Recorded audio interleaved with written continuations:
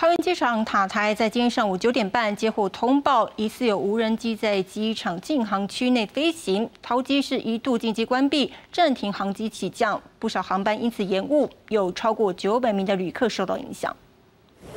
在塔台通报航道下方看见不明飞行物之后，为了维护飞航安全，桃园机场是暂停起降大约四十分钟，确认没有异常的活动之后，航道才重新开放。而在上个月呢，桃机也才发生无人机闯入，也是一度暂停起降。桃机公司表示，无人机闯入机场管制范围会造成飞安严重威胁，可以依法移送民航局以及建议重罚。